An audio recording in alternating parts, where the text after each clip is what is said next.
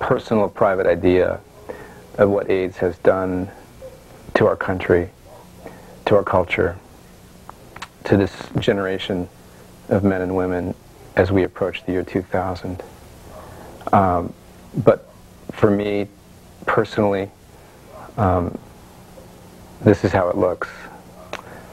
I'm a filmmaker. My writing partner is dead of AIDS. My producer is dead from AIDS. My oldest friend is dead. My college sweetheart is dead. And two years ago, my partner of 10 years died at home in our bed.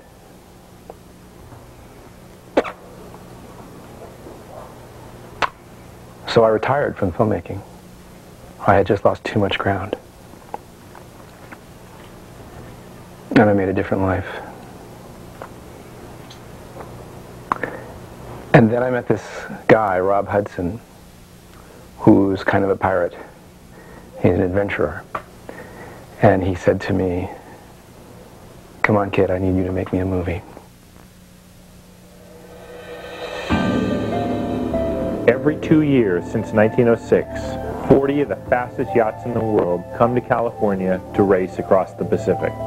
The course is an epic downwind sprint from Los Angeles to Hawaii. It's called the Transpac. It was Robert Hudson's idea to seek out HIV-positive sailors for the race. I'm not saying that everybody with HIV needs to climb Mount Everest or sail across the Pacific, but I know there's a lot of people, like myself, when I was diagnosed, I was scared to death. I just didn't want to live, you know, and, and I was just convinced my life was over. My friend uh, Rob Hudson and I are sailing buddies. You know, John Plander, the captain, says it's the best. He goes, it's okay to have AIDS. There's many people with HIV and AIDS that are that stay at home and they don't really want to come out of the house. They're afraid people are going to be afraid of them. They're afraid that they're going to be rejected. We're coming up on a new era of the AIDS virus. We're figuring out that we can lick this disease by living a healthy lifestyle, by taking care of ourselves, getting back on the treadmill of life, getting back on, getting back into it, getting off the couch, going back to work the press has talked a lot about, you know, the, the new AIDS cocktails and people are taking these drugs and I mean people are literally getting out of beds and, and, and doing things that they could do 10 years ago and couldn't do two years ago. And uh, I'm one of them. Transpac's world renowned. I mean everybody wants to do the Transpac. This has been a lifetime goal of mine to do Transpac. It's 2,200 miles across the Pacific. It's a long race. It's 24 hours a day. It's seven days a week. Getting to Hawaii is winning. I mean, heck, you know, I moved home to my parents' house to die a year ago. A couple of these guys were in hospital beds, you know, waiting to die six months ago, a year ago. Just crossing the starting line is good enough for us.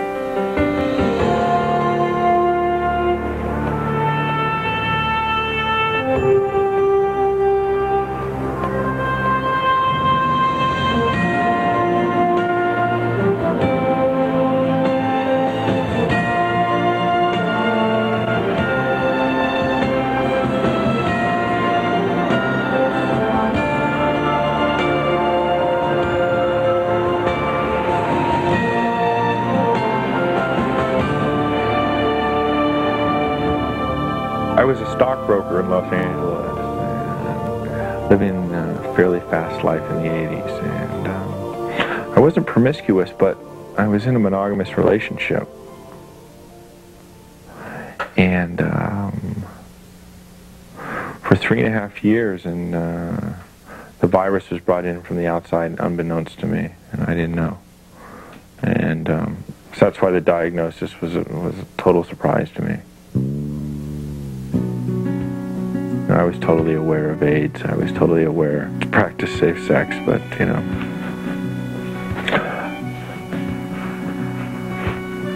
I didn't know my significant other was uh, was fooling around. In the first 24 hours, about a thousand things go through your head, and one is that you know I'll just I'll never be loved. You'll never get another hug. I was so afraid nobody would touch me. I remember when I was first diagnosed. You know, I would go to my sister's house and, and, and she would keep the kids away from me. And um, we live in such a different time today. That's it seems all history to me now. Now we've got great medicine, great alternative medicine, great exercise programs, and a bunch of people out there winning, a bunch of long-term survivors. I want a boat. I want a boat. It turns out that ideas are cheap and sailing's expensive, and we're going to need about a hundred grand. You want to know a few? Merck Pharmaceutical, American Airlines, Anheuser-Busch, West Marine, Hobie Sunglasses, Sperry Topsider. I think I'm going to get a uh, business card made up where it says executive director, and then it says beggar. You got to come to New York for the dollars, then you get to sail to Hawaii. You know, these people say no, I say Hi, do we have some money for a boat? We're trying to sail to Hawaii.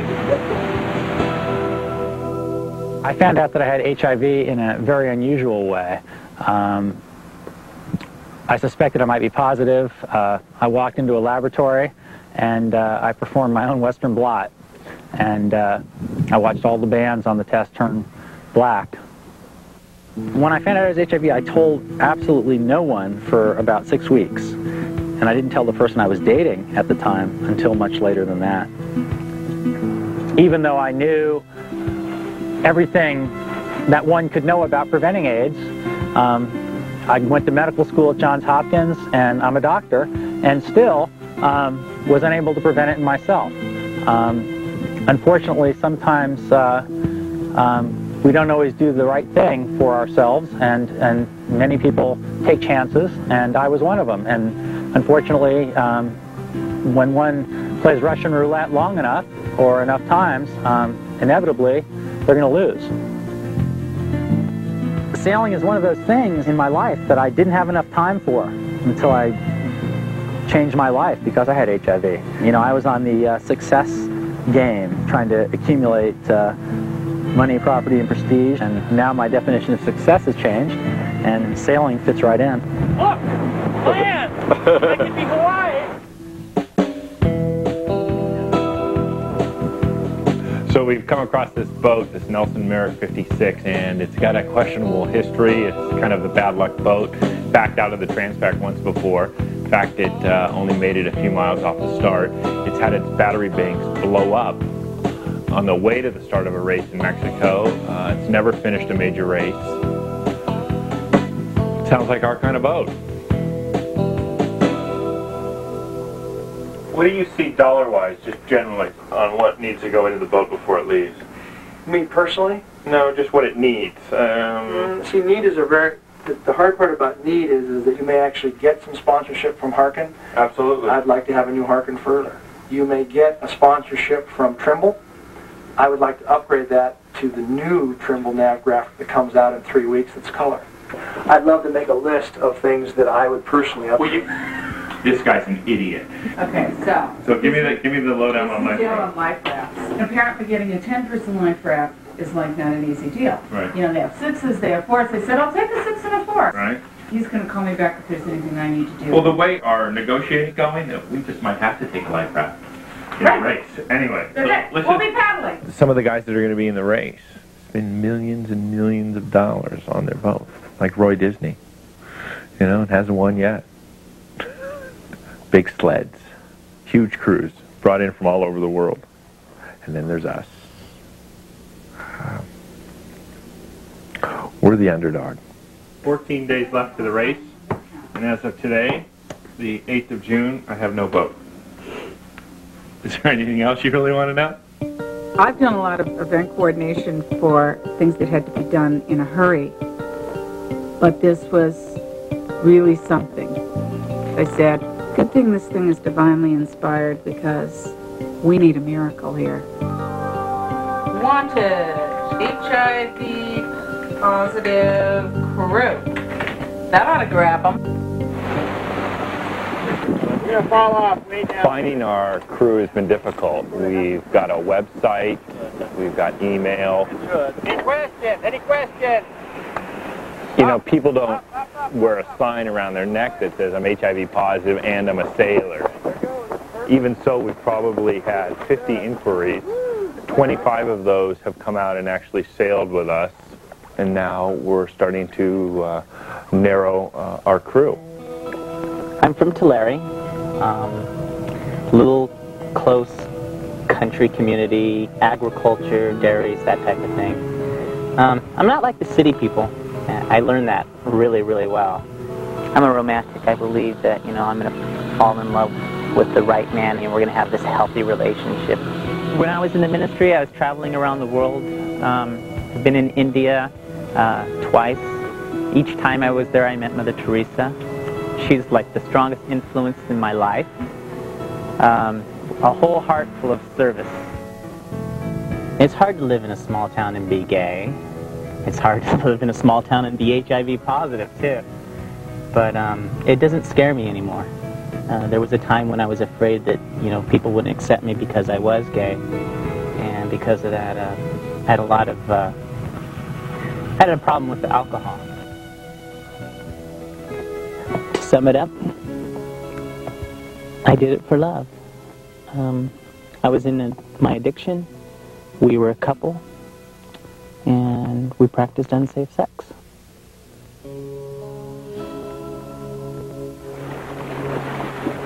Anyone here not experienced with operating a marine head? We got a pump handle over here. We're going to get some water in in the bowl.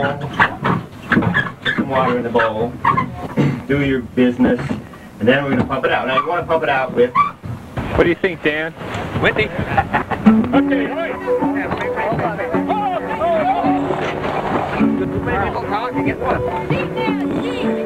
It's the second day of tryouts, and I've got the owner and his girlfriend on board, and everybody else thinks they're a captain. It's a recipe for disaster. Sheet, port sheet, port sheet. Coming down. Just let it go. Ease it off, ease it off.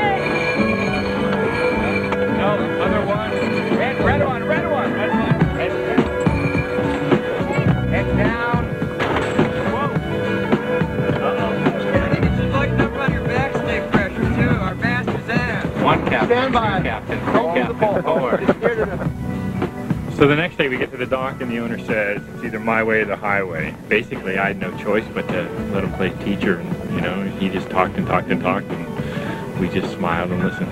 Second command for me is prepare to jibe. Prepare to jibe. Ball coming back. Watch the ball. Work that butt up, fast man. Pull up. Get butt up. Get that main out. I got a perfect drive. Go get that main out. I'd rather not train with him anymore. His boat's a new toy, and uh, he is afraid, you know, he's afraid for us to like step on it wrong. Now that was a jibe. That was a jibe. Woo! The problem is he's not going to be on the trip. His way doesn't matter. Our way matters. If you could pick three crew people or four crew people here that you would sail to Hawaii with, who would they be? Keith, Robert, Mike, and Richard. Richard, uh, you know, Richard's been sailing with us for a long time. We all like Richard. We all think he's doing a great job. I'm afraid I'm going to be that bitch on MTV. My friends took bets on it, and uh, it's going to happen. Why, are you known for, uh... Well, you know, I have a little sarcastic sense of humor, a little crass. I think Mike's a definite, um, even though I, I worry about his health. Do You have AIDS? Yes, I do. Uh, for about five years now. Mike's been in the hospital for everything. I think I'm spiritually in tune for this, and it took me a while to accept my illness and to realize that I can go on. And if there's anything that this trip can offer anybody, it, it's that knowledge. So, are you scared about making this crossing? I've been excited. I'm gonna eat well. I'm gonna. I'm just gonna go, man. I'm gonna go. you just don't care, right? I, I'm going. The truth of the matter is, this boat has nine berths. We have two watches on and off. Okay, we could go with 18. That would be really unwieldy. We could probably go comfortably with 14. I think that's what we have here today. Who's going to make it? Who's not going to make it? Ah! Ah. I have to make it cut. It's uncomfortable for me. And you did. Period. It's uncomfortable. He keeps showing back up. I'm tired of it. Cut. You know, I shouldn't even really have to explain myself. I think you and I would have such a good relationship that you'd just be able to go, Jesus, Rob, I'm I amazed. called him. I did what you wanted me to do. I couldn't shake him. Picking the crew has been the hardest thing so far, bar none. Um, what we're looking for is is personality, strength, endurance, and most of all, how they get along with the rest of the crew. Are you, you know about this guy from Boston? No. Heard of him? Nope. Peter Staley? No. Uh, Kovachev. Never met him. Never heard of him. Who's Steve Kovachev? Steve Kovachev is the marathon runner who did the Boston Marathon, has uh, CMV retinitis, uh, another opportunist uh, AIDS-related diseases. So he has AIDS. Oh, he definitely has AIDS. He's been on death's doorstep more than once. but he really wants to get on board. You know, um, he's got a diarrhea problem. He, he went in for a, um, um, what did they come up the rear with a scope or something? Yeah. He went in for one yesterday. Ouch. All these people are recommending him. He can't sail. He's never been on the ocean. I don't even know if he can swim. Who knows? Maybe he'll pull somebody out of the drink, you know? He'll become the hero. Ted Kennedy will be there at the press conference. Shut I'm up. telling you.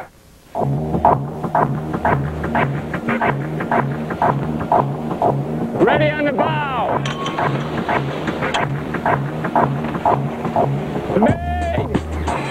He's Easy, Carl, all the way. New guy, help him on the new guy, Carl. Help him on the new guy. It's the final day of training, and we've got big wins. Wrong side of the headstand. It's what we've been expecting, but I'm not sure we're ready. You do it. I'm gonna pull it in, but I need to hold on to the shrouds. You can pull me off. How am I gonna? Where am I gonna hold on to? Hold, just fucking hold. You don't need to hold on to anything. Hey, Rob. Hey, John. John, we can do it. Pull on.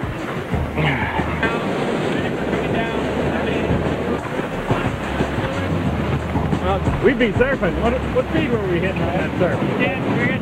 We're in 10. Let go, Rich. It's wrong. It's wrong. It's wrong? Now grind. Yeah. He's, he's the guy. He's the guy. He's the sheet. He's the sheet. He's the sheet. He's the bang. That was a roundup, Miles. Key thing to do. Everything else is secondary. Glad I was part of this one.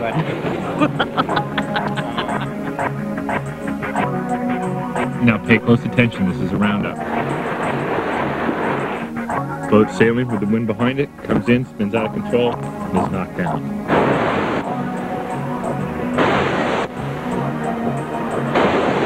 A roundup's like driving a car on ice. You get out of control, you're going sideways, sometimes you recover, sometimes you don't. That's a roundup. Oh, it's been a total rush this trip. It's better than sex at times. I quit. I'm done. You're not going? Yeah, I'm going. Okay, this is the crew. We've made our final cuts. John Plander is going to be the captain. Um, he's my best pick. Um, longtime sailor, in fact, uh, race boat owner. Here's one of my favorites on board, Ted Taylor, kind of a cowboy from Tulare. His expertise is cooking. It's definitely not sailing. Mike Burrell's coming up from South America. He's extensive in uh, offshore sailing.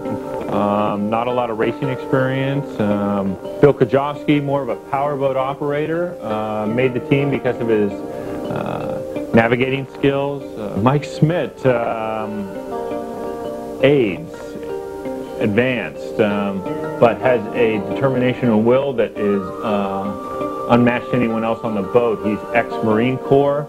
Richard Bartle from Laguna Beach, California. Uh, not just another pretty boy, a good sailor, a good racer. Uh, I've been in uh, quite a few offshore races with him. Steve Kovacev, wow, not a sailor, um, not a water person, wants to go on this race more than anything else in his life. Uh, Keith, Coach Keith, um, his uh, ability to teach people sailing is what has brought him on board. He is kind of a old salt, Popeye style, barks the orders out. Uh, Dennis, the last crew member to pi- be picked, um, a real go-getter, kind of a fun guy, lives aboard a sailboat. I've been positive now. I think it's going on seven years this January without any problems to speak of. Actually, I've had no problems at all. It's just kind of um, just something I always knows there, but uh, don't don't dwell on too much.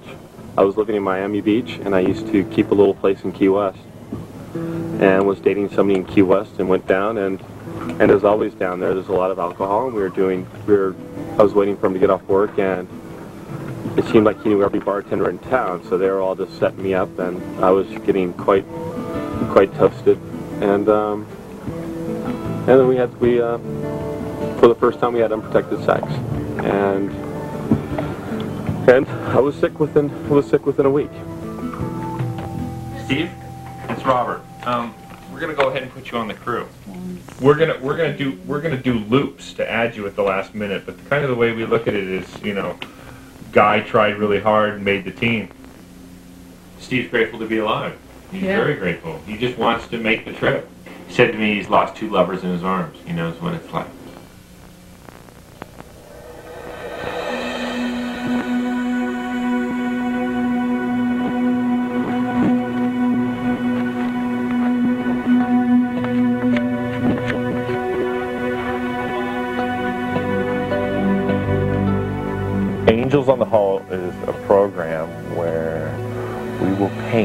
3,000 names of people who have died of the AIDS epidemic uh, on the hull of our boat. And um, these people will be called back, so to speak, to carry our boat safely across the Pacific. When the wind gets strong and the boat heels up on its side, and all those names are glistening in the sun, it's going to be quite spectacular. There's a story behind every one of those names out there. Three of my friends were right on the stern. Bobby Beersworth, uh, Bruce from the Midwest, and Dan Osborne from California. And then um, Claude. Uh, Claude just died two months ago. You see the name you see their face again. Uh, it's like talking to them all over again. And uh, wish they were with us, wish they could be here, but they can't. But they are in a way. Spiritually, they're with us. They're going to take us to Hawaii. I became HIV positive, and it was actually from uh, the angel, uh, my angel that I put on the hall, Radley Nash. And uh, I loved Radley, and he, uh, I think Radley knew he was sick, but Radley uh, was never honest. He, to the day he died, he was never honest with me. And that was a good lesson to me. That was one of the things that helped me um, decide to be honest with myself and, and with my friends and loved ones. So I uh, used the uh, Transpac race and the uh, trip to Hawaii as my reason to come out to my kids um, about my HIV status. It's the hardest thing in the world that I've ever had to do. Somebody told me six months ago I was going to sail across the entire Pacific Ocean with a bunch of beginners. It was your idea. Yeah, I know. We never had the entire crew for a full training day, let alone night training. We had no night training, zero night training.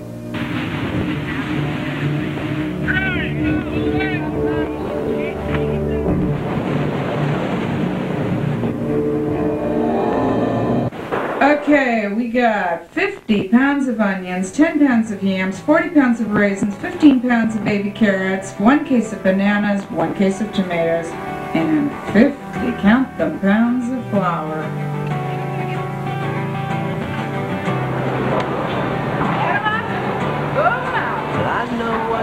Tonight at some point, we got to transfer food onto the boat as much as we can. I got to get food. You got to hear me. I got to get the food out of the car. It's got to go into either the front room, the back room, which nobody's just working under, right? Is anybody sleeping in the back room or working under the back room? Yeah. Who? Oh, I've got an electrician back there. I've got. But he's working on the panel, Oh, right? No, no, my radio guy's gonna be back there. That's the back. Isn't that the back back? I'm, I'm at my wit's end. The guy's got $45,000 of our money. You know, he's got $10,000 towards an insurance policy for a couple hundred grand. Yeah. Um, I hate to do this, but I need to talk to just the two of you alone. Okay, I got CNN. I got CNN tomorrow morning. We're gonna come to that. Okay. Thanks, Bobby. No, his camera runs all the time.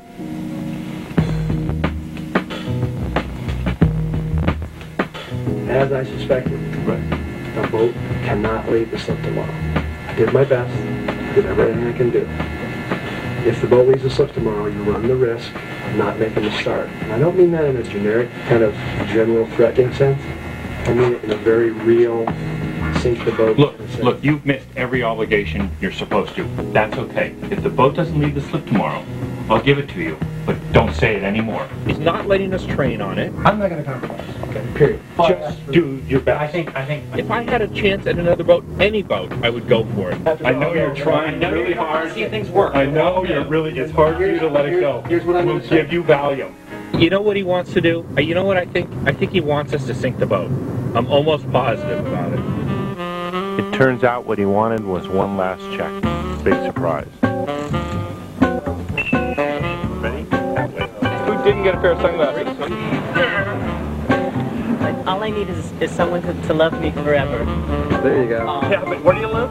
I predict that this is going to be about the tightest, most comfortable, um, smoothest cruise that Transpac has ever seen. The 11 of us are going to get so tight, so close, so loving, there's going to be no bickering. I predict it is very hard to do on a boat. I predict day three. Three, the shit's gonna hit the fan.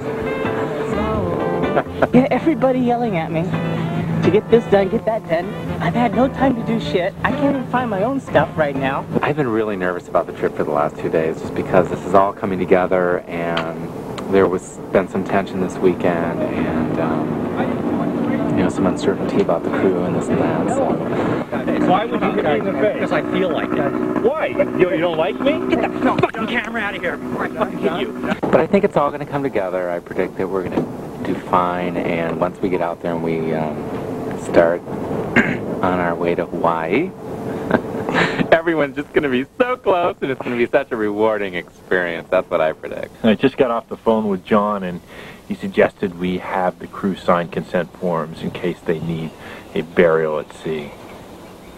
I'm a little worried. Live from the Fox Television Center, this is Good Day LA. You know, the Transpac race uh, is about to uh, begin today. That's that race, uh, sailing race from here to Hawaii. It's a big deal. It takes, I think, two weeks to get there. There is a boat entered called the Survivor. We're looking at the Survivor in Long Beach Harbor right now, and there's quite a story about this boat and its crew. Let's say hello. Are you family of an angel? Christopher Rito Garcia. Uh-huh. And his brother. Did you find him? Yes, we sure did. He's right in the end. Right in First one. First one. See it? So he'll lead you guys. Dennis, we're leaving. See you on the other end. We're leaving. Take the chair. We're leaving. Don't forget to ask for help when you need it. See you later, girls. Have fun when we're gone, okay? I haven't seen Dennis. Dennis, Mike Moore, Mike Dennis. Dennis! Dennis went to the bathroom. This is it. We're out of here. We're both leaving now. Hope you guys have a fun time. Sucker. Aloha. Thanks for your patience. Bye, Delaney. Bye, Delaney. Which way's Hawaii? Is it that way? The Transpac is the one to win. A lot of the crews are professional. The boats are designed specifically for the course. People spend years trying to win this race and millions of dollars. Uh, all right, we're going to start off with saying uh, everybody's name three times. We're first going to say all our relations three times. All our relations is how the Native Americans started off their prayers to our ancestors, and with us, our angels, of course. First we say all our relations three times. Ready? All our relations, all our relations, all our relations. See that no harm comes to any of us or anyone involved in this race, and that we reach our destiny, our journey, safe and sound, with love, peace, and have our angels guide us.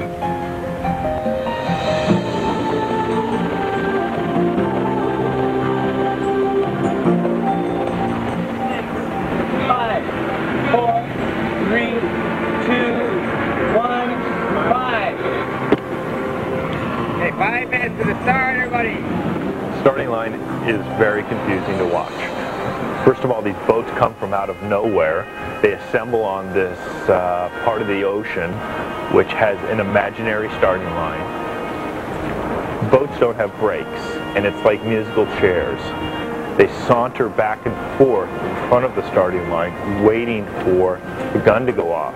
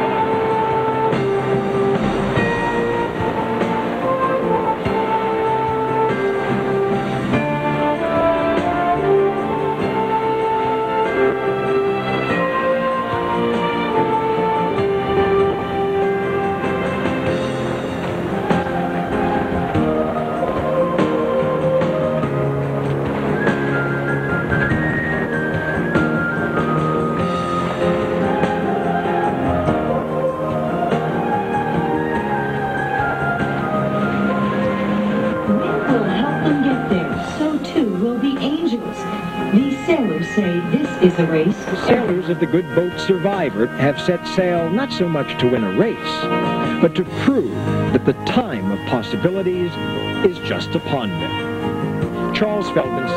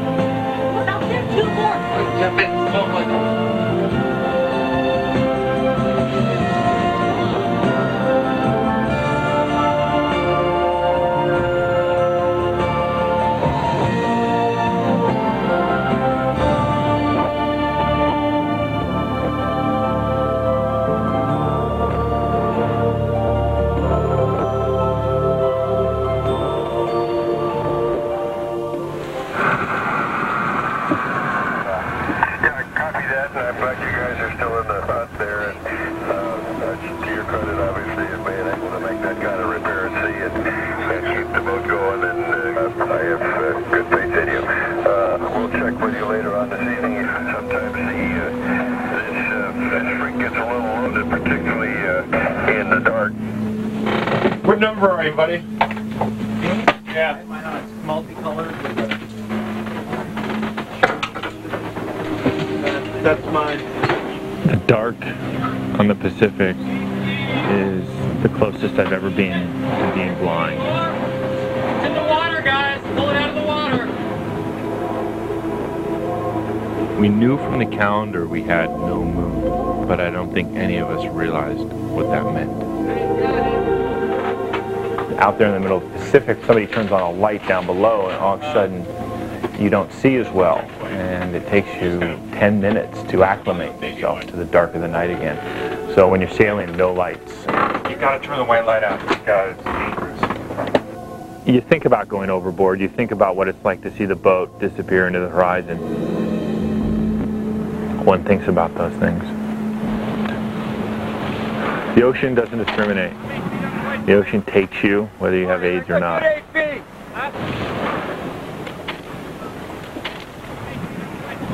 Robert, greetings from the Ventura County Star and a bracing case of salt spray for your troubles. How are the crew's spirits? They want to know if we're fighting. Yeah. Move out of my way. How have competitors reacted to the boat with an all HIV crew? How do you feel? Well, have you guys noticed the boats are sailing near us? I noticed that right off the bat. I think think they're scared. Let's see, wait a minute. Subject, hello. When is the date here? Let's see. Saturday, July 5th. So that's this morning. July 4th, 1997. We are so alive. We're in fourth place overall. Unbelievable. HIV sailors kicking ass. Shifts run around the clock. Nobody gets more than two hours sleep, and yet they're funny up a total team. It's hard to describe the difficulty of first few days. Rock climbing comes to mind. It is rough stuff. Every handhold and foot placement is crucial. A loose orange becomes a missile. Roll call each one shows us finding the biggest wins in the fleet. Oh my gosh. Well, a whole slew of new experiences. The First one being seasickness. Seasickness came from pounding seas. Herpes stomach, not uncommon. There's bunches of problems with the boat. It's pouring right down there, isn't it? This boat isn't going to sink on the outside, it's going to sink on the inside. The pharmaceuticals are everywhere evident. Pill time happens all the time. But we're seeing guys with AIDS pulling unbelievable workloads and just chow down and keep going. And that wouldn't have been happening two years ago. The guys are deeply inspiring. God, it's just so interesting being out here in the middle of the Pacific. The ocean's so big. I sort of was thinking about it today. Is if life is a game, this is the biggest playing field there is. A buddy of mine, he was he was positive. He had AIDS actually, he had Kaposi sarcoma. I'd known him for a year. We dated a little bit, but we were really good friends. And he was a real inspiration. He um, he lived with chaos and a lot of different issues. He lost his lover, he lost he lost his best friend, but he was still very positive, focusing on life and, and living with this and going day to day. And he was a real inspiration when I found out I was positive. I really didn't get down, and had not had I not known Jeff at the time, um, I don't think I would have handled it as well. It was really tough for me when Jeff died four years ago. got me thinking about the uh, kids and, and, and Chris, and it um, made me realize what I'm going to use this for with Chris, because he's still a kid. You just um, told him about your HIV. Just told him um, wouldn't have done if it wasn't for Ted. And you know, you didn't push me, but you gave me the support that I needed, because you know I was, well, I was scared to death of rejection. What you know, I said that I was afraid that uh, it would worry him and this and that. But bottom line, I thought he'd be ashamed of me, and I was afraid of the rejection. And he was, you know. And instead, it's not.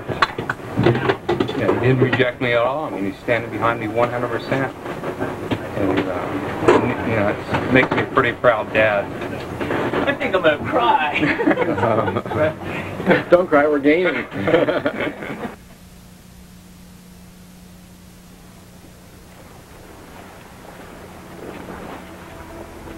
Uh, we got on day number three. It's like they're kind of running together. I thought I can't remember if it's two or three. It's been an exciting day. We put up our spinnaker finally. The winds are coming a little more behind us. Time to turn in. Another job well done. So the last couple nights have been a total roller coaster ride. No moonlight. Last night we had no stars. Just just a froth of the water, and um, and the guy next to you is about all you could see. Driving Spinnaker at night, um, something else. Two really, really rough roundups. A lot of things. The wind is shifting all over. You really got to pay attention. Uh, got to keep your eye on the sheets and the. Uh, oh, I tell you, it's just rough. It's rough. Uh, I feel like I'm in a washing machine without the detergent. What's up Park and above LA? Um, Magic Mountain. The Cyclone has nothing on this boat. It's like a total roller coaster ride. It's dark out. It's three in the morning, and the waves are just heaving the boat back and forth. You can, you know, something happens. The the guy lets loose. The pole comes forward, slams into the headstay, takes down the mast. Sink the boat, for God's sake. You're in the middle of the Pacific Ocean. Is it soup yet? No, it's oh, turning up. Didn't know if I had to leave from here and But it's fun. It's a good time. And that's it, buddy. What, what else you want to hear? You want to hear about Ted's fine cooking? Some alive, uh, fresh cornbread. Big Mike is such a dear man. He gives great hugs. He's my man.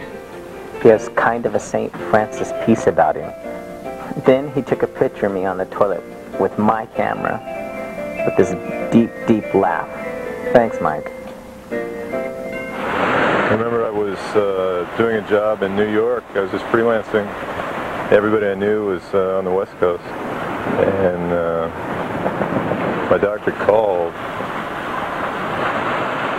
And I was sitting in the office and told me I was positive. And uh, I thought my life was over. Uh, I had several friends that already died.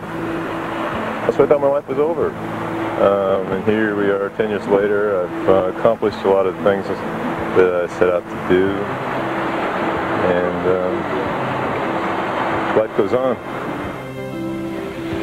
I definitely think we're setting new Transpac records. And and I think for accidental jobs, we're going to hold the Transpac record. Thursday we had Thursday morning we had some 11 up. Flying. Flying and snowing at the same time. Transpac is now in its full swing. All the famous boats are en route with their new record likely by Medicine Man with whom we started. We have been dueling all the way with Beowulf, the women's sailing team. I'm worried about them. Why? Their boat is a faster boat. Much faster. Oh, I thought you were. I thought you were. I thought, I thought you were concerned for their safety. Worried about them beating us. Right. They had problems, but we're 40% beginners. We can't help it. We're sensitive. They're running from us. I think they're afraid of maybe we want to sleep in one of them. You want to know the reason why I'm on the boat? Yeah. Uh, well, had the first lover of my life, my heart, my soul. Person I love more than anything in this whole world. We were together about eight years, and uh, didn't really believe that he was going to die. And we uh, researched and uh, accessed everything that we possibly could, including uh, ozone therapy, intravenous ozone, taking the blood out of them, shaking it up with ozone, putting it back in. We did this in a hotel room in Maryland for eight days. It was a nightmare. But your body's very strong. My body wasn't. A year and a half, a year and six months ago, a year and a half, I couldn't walk from here to the end of the cabin. I was on the way out of here. There, there's no question about that. And just to do something simple like your own laundry again, and then I thought, I'm gonna start running again someday, and I did. I started running again. It just kept rebuilding my spiritual and physical health, and uh, ran the Boston Marathon, which just blew everybody away, including myself, actually. It's tough. I had, I've suffered from this uh, intense anxiety, which I've never had in my life before. Very Scary, but to uh, but hard work. I haven't slept in 24 hours. Rolling and rocking, and you know, three days without showers and peeing off of the back of the boat. I mean, it's not what we used to. Face it. There's a slow leak in my bunk. All wet.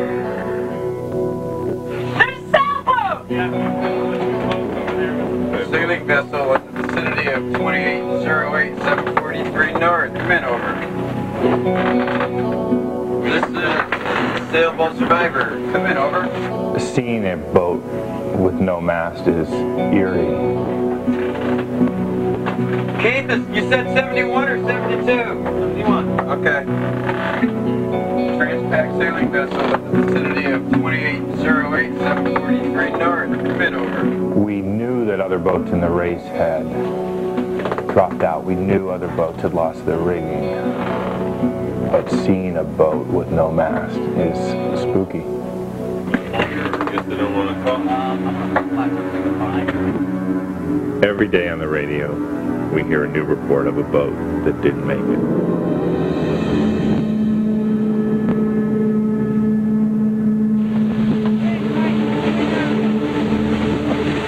Last night was a bunch of people with no real leadership, no one really in command, people going from a dead asleep into uh, working up on the bow. You know, quick to do something, but not quick to think about what the best solution was. Kind of John Wayne tactics. I could barely keep my eyes open. I'd look up at the at the the Windex, and it started turning into things. and I'm like, oh shit! Danger? Oh yeah, very dangerous. Very dangerous. When was that? When you guys were afraid to go out because it was scary as hell out there, and the banging and the clanging in the darkness of the night. Oh, I wasn't scared. You weren't as scared. I wasn't Not scared. Bill. No, I'm starting to lose it, guys. Maybe somebody should uh, take over. Let me drive and see how it feels with the new. I've got higher wind and still low speed, so I know I'm not doing that good. 24 hours a day, seven days a week, someone is always behind that wheel, wrestling with the ocean. I think I slept for the first time last night, about two and a half hours over here. When I woke up, I was completely disoriented, and um, um, I had been dreaming. So um, the first thing, it took like three or four minutes to realize even that I was on this boat in the middle of the Pacific. My first thought was, okay, I'm done now. I want to go home. And I realized that wasn't an option. He's feeling shitty. I think the sea is he's just not as active as he was. And um, I think last night he was a little under the weather. I'm sure he's still. That song just brought it out of me.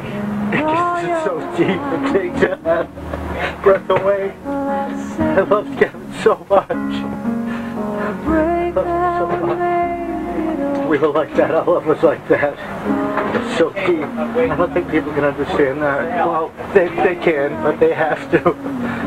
Homosexual love, any kind of love, is so deep. I loved Kevin so much. There was just no way that I could figure out how to live after Kevin died. no way. But I was blessed. Michael came into my lo- my life and became my love. Michael helped massage that pain. Then Michael died. So here I am. Surviving on Survivor. Doctor. Yeah. My head's not clear. and it's not because of the pain. It's not because of my emotion. I have trouble. My head's not clear. I smacked my ribs last night here. Like, wow. How about your ears hurting at all? Any problems moving parts of your body? Uh, yeah, a little bit here from the, but that's from smacking into something. Certainly being at sea can be very disorienting. Yeah, yeah, yeah, definitely. I uh, really didn't sleep well last night at all. Didn't sleep, really. I think what you need is take the day off. Eat, stay in bed, try to get some more sleep. You, you want you want something to make you go to sleep Uh, for a while. no, because I think that might fog me up more. But, uh, What are your What are your T cells? 40. 40. 40. my age. Actually, yeah. I'll, I'll take 40. I'm 44. I'll take 44 details. When you think about it, Steve only has 40 T cells, when a thousand T cells is normal. It's not good news. I think we need to keep it from the crew. Come a little closer. The girls used to be 60 miles ahead of us with. They're 90 miles ahead of us now. the morale's going to be bad. Don't tell anybody. Leisure where you can.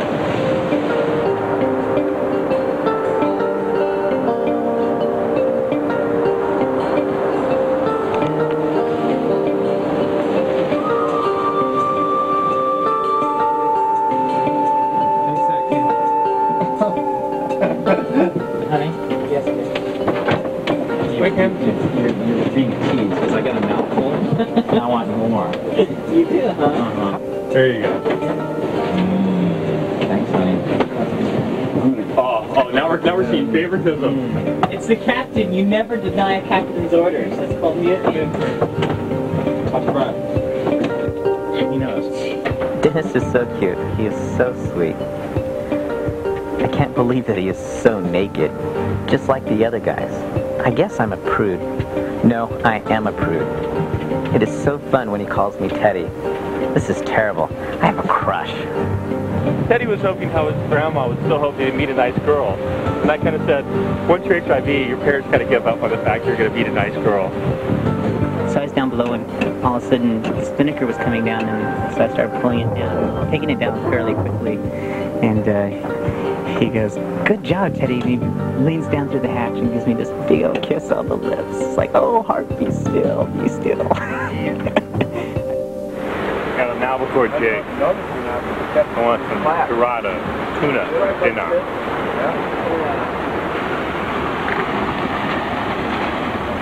First day I felt a little off. Well, you ever see puke on a lens? well, let's see what the doctor ordered. Uh, Septra for my lungs, 3TC, a little bit of diflucan, a little bit of Hivid, and a little bit of Taxol. What was your specialty in the military? I was a driver for a while. Two of these. Which branch of military? Marine Corps. There's only one branch, isn't there? Just one of these. This is liquid. It's for oral thrush. Everyone knows what these are. No. AZT. Everybody takes these. What's that bottle worth right there? About 2,000 bucks.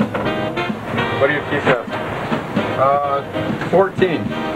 14.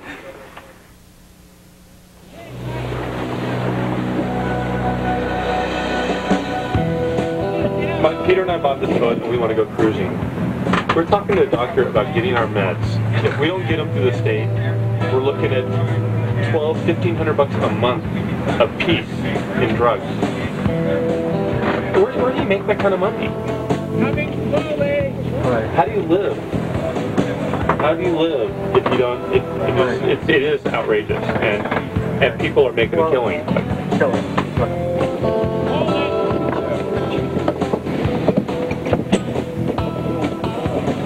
Does it say?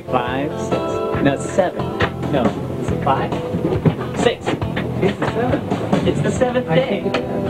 It is No, it, today's the seventh, so it's the fifth day or the sixth day. We start out July second, third, fourth, fifth, sixth, seventh. Today's the sixth day. Sixth day. I forget. This is the way we wash our clothes, wash our clothes, wash our clothes. This is the way we wash our clothes early in the morning. Hello, world. Exactly six days at sea and almost two-thirds of the way to Hawaii. We've been seeing the strongest winds for Transpac, oh my god, in 20 years. Add to this the fact that our course has put us consistently in a perfect following sea. Oh, how wonderful. With base winds never dropping below 20 knots and gusting as high as 30. Wow. We surf the boat morning, noon, and night, and when she shoots down a wave, there is an unearthly vibration which turns into a moan of pleasure from the keel itself. Life inside the vessel is exactly like life in a rocket. Same total self-reliance, same enormous risks. Carnage mounts. Bruises on everybody from slamming around the cabin. We've had non-stop drama with the boat. The hole in the floor there. We took the panel up, and we used it to prop up when the steering wheel fell off this morning.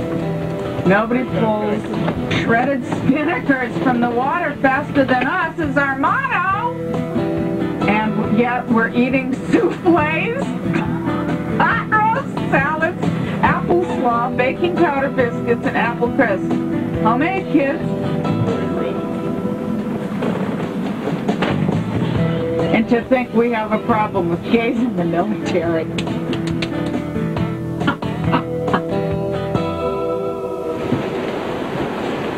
Have a hurricane. Dolores. Not a hurricane yet. It's coming. Or it wasn't this morning anyhow. Well, look at that shape.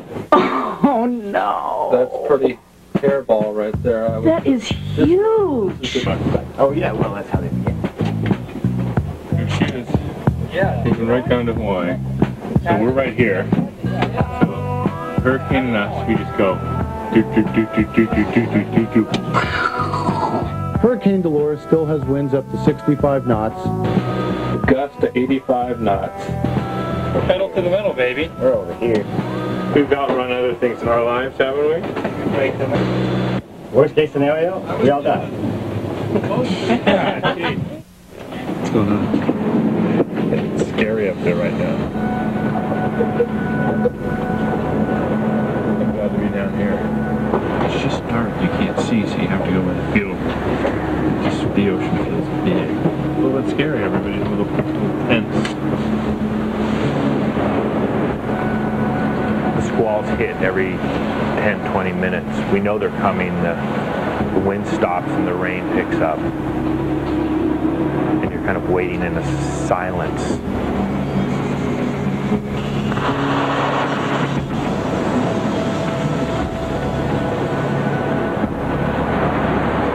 It was crazy. We racked back and forth, and we were desperately trying to get control of the boat. The boom was violently crashing back and forth. The worst place to be was uh, in its path.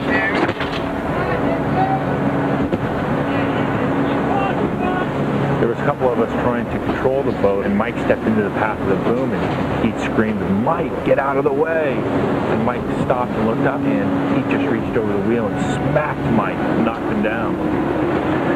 Boom came right over the top of Mike. I remember Mike going to Keith and pointing in his face, if you ever touch me again, I'll kill you. You know, and I just felt like saying, Mike, you saved your life.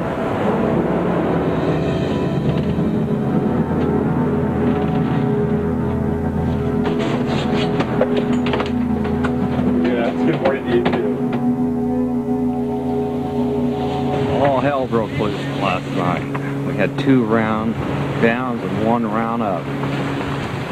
Four of us up in the cockpit. Four of us couldn't control the, uh, the boat. Three of us working on the uh, wheel to get the wheel back around. One person working with the uh, get the spinnaker down. We finally lost the spinnaker. Winds were probably blowing about 35, 40 knots. It was a squall. No warning at all. Squall coming in.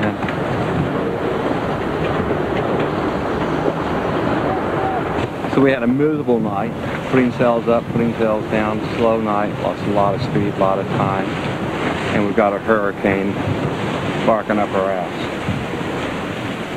I do worry one thing about you, that you get to this plateau and you just turn off. And it's because you pushed yourself too far and you just shut down right on the bridge. But I, but, but what do you, what do you mean shut down? I mean, I don't. I mean, yes, I get anxious. Yes, I get testy. Yes, I get aggressive. Yes, I get. yeah, all those things. Okay, but, but, but but sometimes, I mean, I, you know, It's a small boat with a lot of people. I'm just sort of trying to recognize it.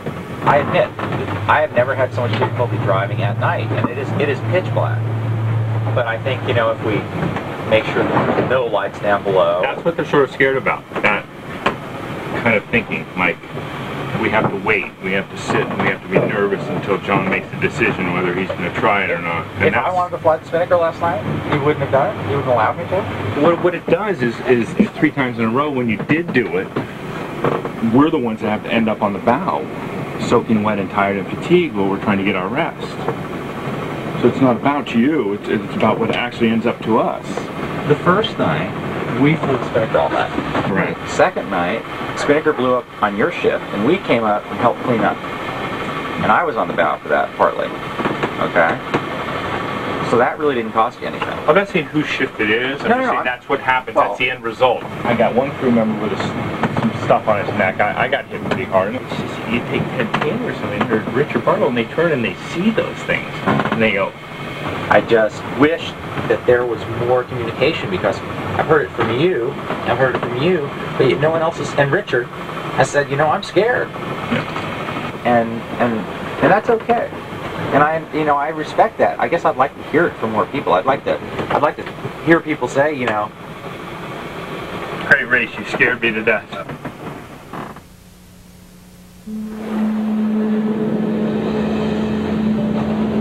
Wasn't expecting a luxury crew.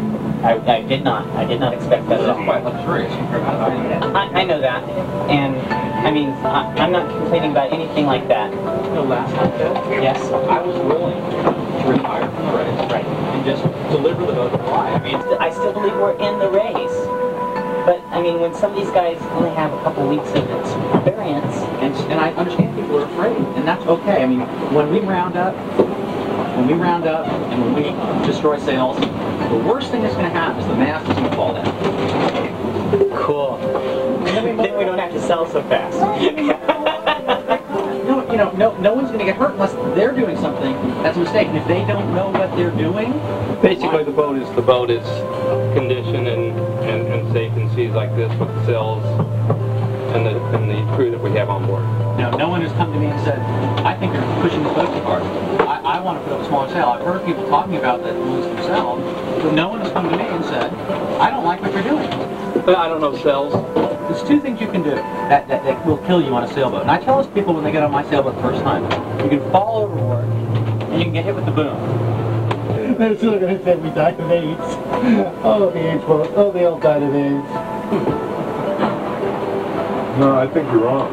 I think that um, people look at us doing this and participating in life. Right. They, very much people look at this and they say, you know, that's very great. I think there's I think a lot so. of respect out there for what we're, doing. Thank you guys for letting me talk about it. This is strange. The crew's below decks, trying to talk to John about all these roundups we've been having. When we round up again, only this time Dennis is on the rail. He's pinned underwater. Dinner's all over the floor. Better than five.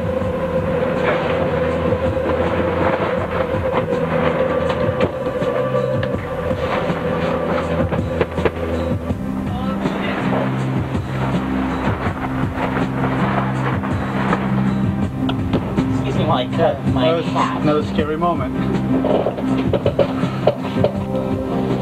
You guys were scared. You told me you're scared. You didn't want to blood spinner. There's nothing I can say that would change your minds.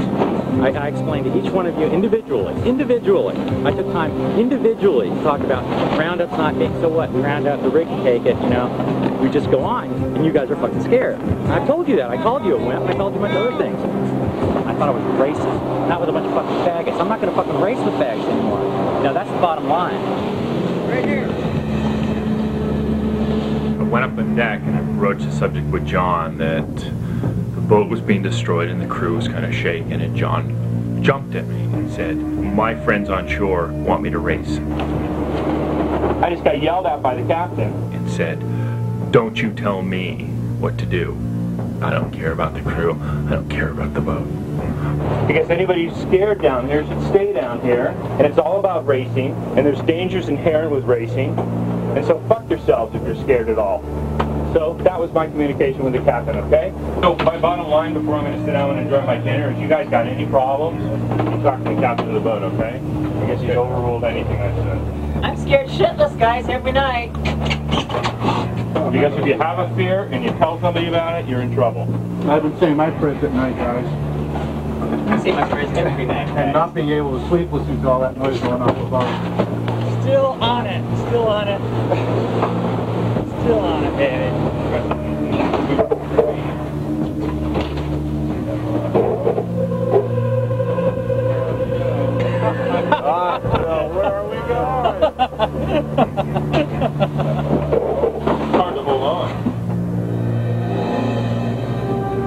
Hey there, it's us again, out here in the middle of nowhere. How's the world? Funny, at the outset of every journey, you wonder what important thing you're forgetting. And now I wonder if we have forgotten our purpose. The crew is divided in two. John's shift is the racers, just as he wanted when he chose them. There are the cowboys and the cowgirls. Carnage to the boat mounts as we make mistakes and pay the price. Dennis was nearly decapitated by the main sheet. Rob was launched eight feet in the air, and still John waits to shorten sail until we break something or shred something. It could be the boat or somebody's body. Doesn't seem to matter. We got bent spinnaker poles, ripped shredded sails, ripped main. We got a steering um, column that we bent. We got, you know, people with lacerations on them. Approached, John continues to say, Why didn't you say so before? It's getting a little spooky. What was that? Yes. How's that hurricane? The hurricane's getting bigger, Bobby. That's how it is.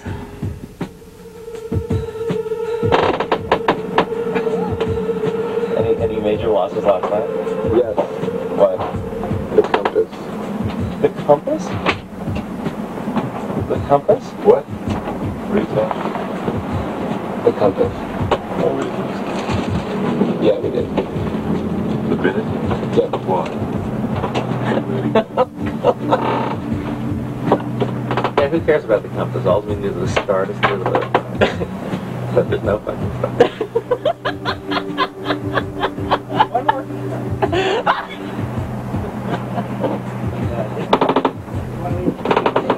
How does bacon and eggs sound? I'm wasting time. We're time. Vinegar is trying to get free. Run the board now. Sailing races are one thing, racing a hurricane's another.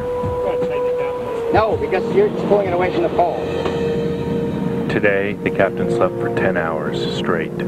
He's crashed. This is today where Dolores is, and in three days they expect it to be over here.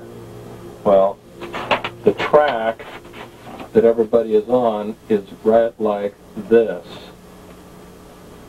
It's just one thing after another. There's uh, some trouble with the steering column right now. It's tightening up. It's a little stiff. Uh, when the boom came over and uh, knocked into the uh, compass, it pulled off the part of the steering column, and we repositioned it today. But there's a clicking noise. Over the last hour, it's been getting a little stiffer and a little stiffer. When do we change our clock over? 1300, 1300? 1200. Get relieved at 1300 today. What time is it now? Tonight we have thunderstorms all around us, and we're sailing straight towards them with an 80-foot aluminum mast.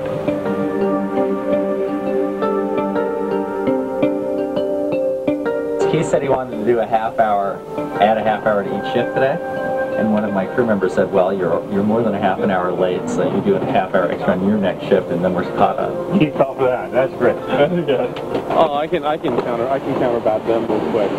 When it comes to working on the bow, you and I and Mike are the ones up there all the time getting wet as they sit in the cockpit dry. When it comes to folding sails, they go to bed and then Keith has to fold all the sails. On day six and a half, early day seven, you know, a few people pretty much blew up and there was some, you know, yelling going on. There really wasn't a sense of direction. There were problems, there were personality conflicts going on, there were people were unhappy about certain things, there was poor communication on board. We're having a crew meeting this afternoon. We're putting them on in a certain... Because you guys aren't a crew and you guys are not a team. This is a HIV team and all I see is eight people back here, three people up here. Th- This guy is up 20 hours a day fixing everything. Are you paying him? No, he's not.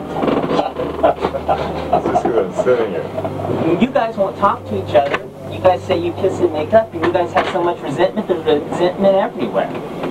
And you both know that. Who, me and Rob? Yes. You guys won't talk to each other. You guys kissed the other day, and I thought maybe it'd be over. But you know what? Animosity's everywhere. I tried to talk this morning, we talked. We talked. There still seems to be a emotional detachment between us. There is. Well, I think it... It's just natural. You put 11 guys on a boat, you're going to come... No, we're talking me and you. That's not natural. Well, John and I have been through a lot in the last six, seven Yes. months. You know, we work to get along with each other. There's things John doesn't like about me. There's things I don't like about John.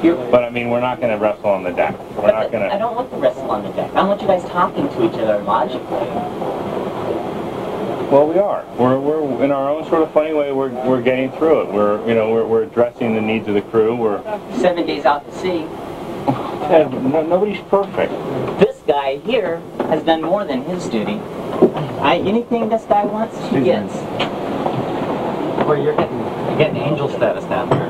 Oh, am I? So we got three days to work like a team and not a bunch of fags sailing to Hawaii. Girl, don't you go there. Honey, listen to me. and there's not a team on this boat.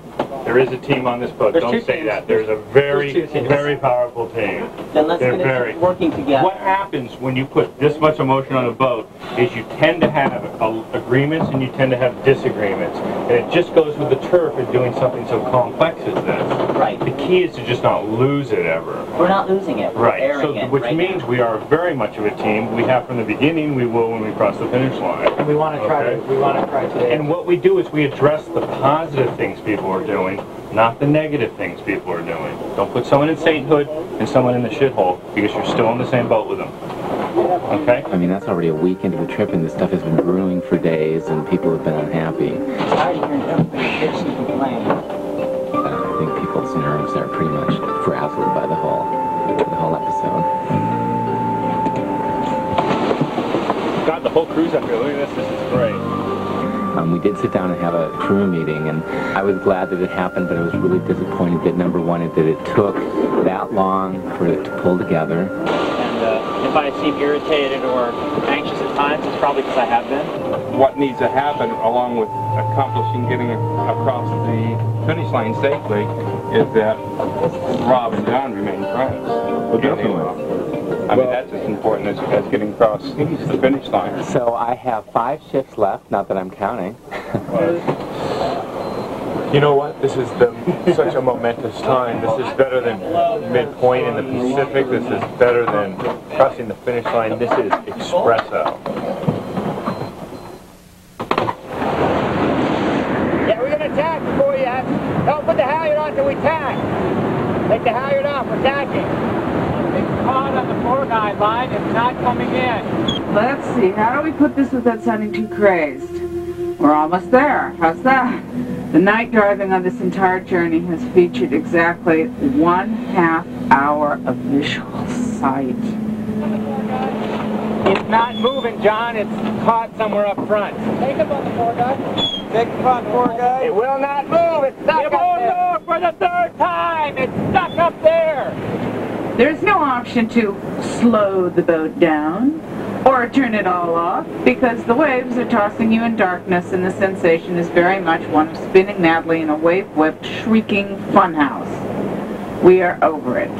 To cut to the chase, by dawn we had run into one squall too many and the boom is now bent at a fair angle. This is This is not good. You haven't seen the boom? You haven't seen the boom? You haven't seen the boom? You haven't seen the boom? You haven't seen the boom? You have not seen the boom. So here's here's the wonderful part about all our training we did. We can go up to the bow of the boat and we can jibe. we can jibe a hundred times. and we'll still get there. But we can't drive.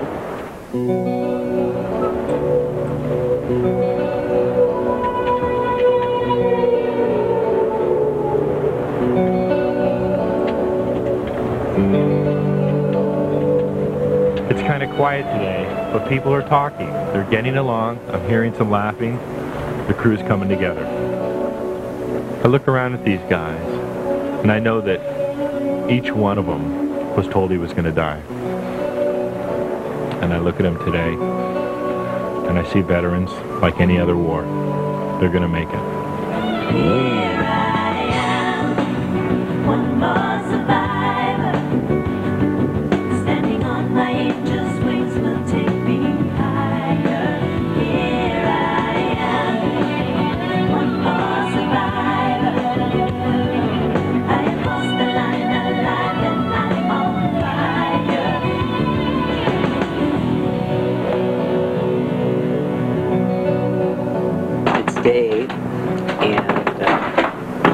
It's Thursday.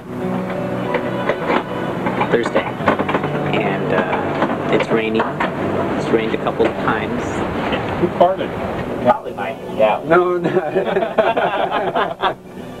you know, I mean, we live pretty close together. And today, I was talking with, with Mike Schmidt, and and I said, well, at least the boat's appropriately named, you know, the Survivor. And he goes, that's right, we're going to make it. At my hometown, I get conversations from young people that are find out they're positive, and they they, they are losing their minds. They just want to run and escape and hide and cry and scared and they have no one to talk to.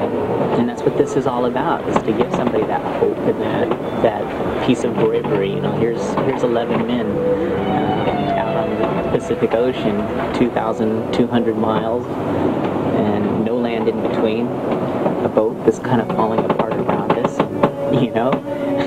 We're either stupid or brave.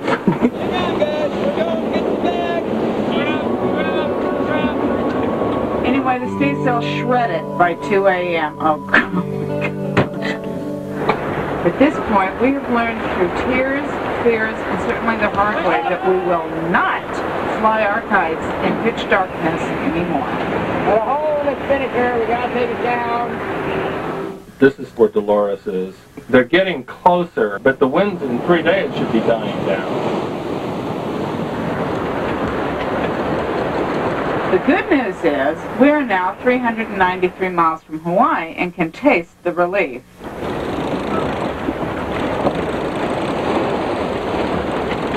We are survivors without any doubt, and we'll see our friends and family in two days at last. Worst comes to worst, we turn on the motor.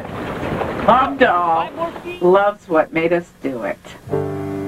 Wow, how beautiful. I think the angels helped us in the hurricane. It just passed to the north of us, and I'm really grateful.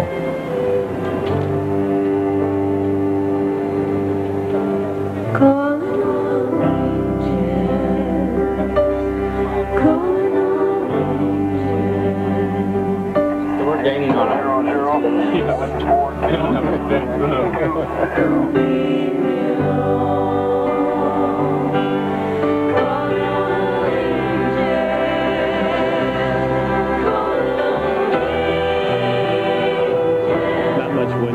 we're going kind of slow, but we have this anticipation of knowing we're just we're just a day away. Everyone's thinking about what we're going to do when we get to Honolulu, and I think most people it'll just be nice to sleep for eight hours straight without being woken up every four hours and have somebody kick you to get out of your bed. But as much as we're looking forward to hitting Honolulu, I think it's going to be really sad to stop this trip. You just wish the boat could keep, we just resupply and, and go to the next destination. And, and this would never end. One of the best times out, I think it was day three or day four. Um, we were sailing. We had the afternoon shift, and um, the ocean is just it's just beautiful. It's an intense, rich blue. It was a sunny afternoon with kind of billowy clouds, and um, um, the waves were increasing. The wind was increasing. We looked over and we saw a school of flying fish. Um, going about 20 of them. They looked like birds flying through the sky, but they would go to, just over the waves from one wave and into another wave, and they disappear. And it was just, it was just beautiful.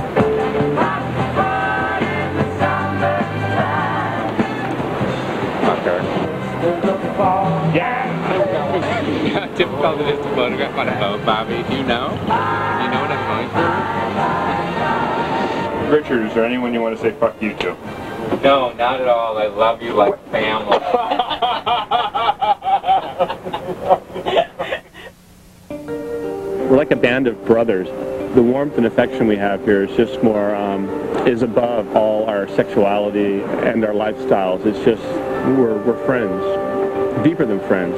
And to be in a sea with a lot of guys that have never sailed before in a boat that sounds like it's just going to rip apart. It's been something really beautiful to watch and see. But uh, this has been a great trip.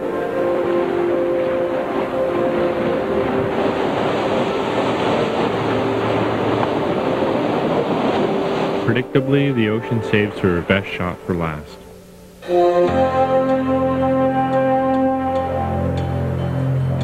The Molokai Channel is famous for high winds and huge waves. Don't break now. A lot of sailboats have come all this way just to end up on the reef.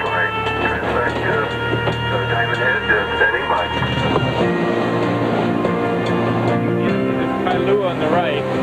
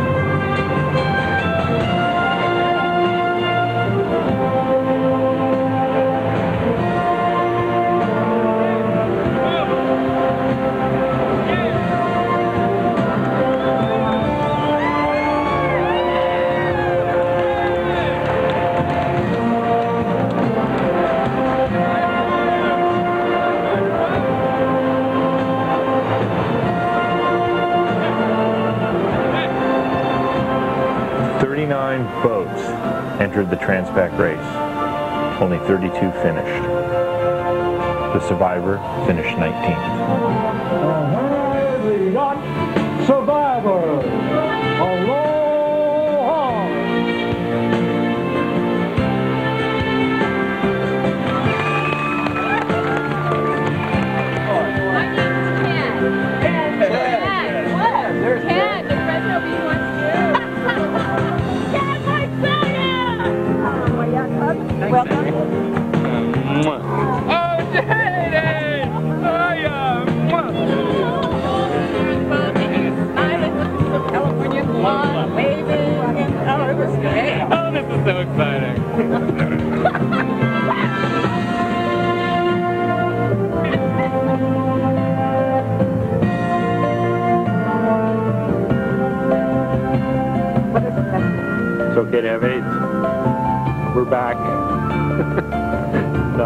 Stop us. I don't know how I made the trip, to be honest with you. It just blew me out of the water that I succeeded on this. Oh. Ted Taylor became a celebrity in his small town. He still visits Dennis on weekends. They're just friends. Richard Bartle is considering a career as an actress. Bill Kajowski is bringing a powerboat through the Panama Canal. Mom, I'm in Hawaii. Mike Smith sailed on another boat back to California. After 26 days at sea, they were rescued by a tanker. Steve Kavasev now has eight T cells. Mike Burrell is still with his partner of 25 years. John Corder was last seen with his boat in Mexico. See, I don't mind the carnage, especially if you got in the fucking trophy. I, Just third place. I don't talk to me about it. I wanted it. I, It turns out his girlfriend actually owns the boat. I was, you know, basically they didn't respect me skipper, and that was John Plander is still pissed off about placing 19th.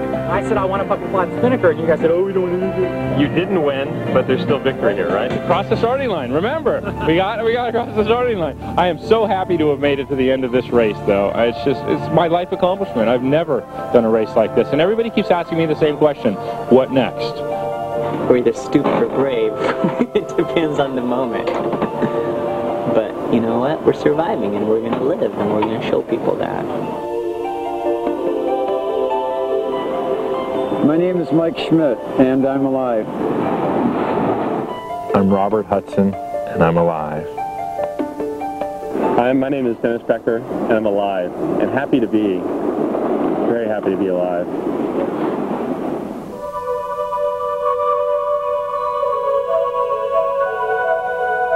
I had lost all my direction, no compass close at hand, hope of reaching land, tempest tossed and turning, no way to find my home.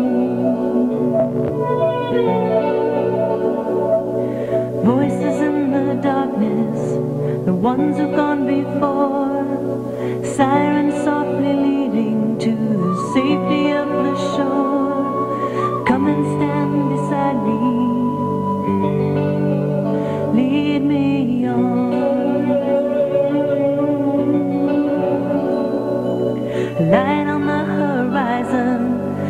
someone to show the way. Each time a name is whispered, I see the face again.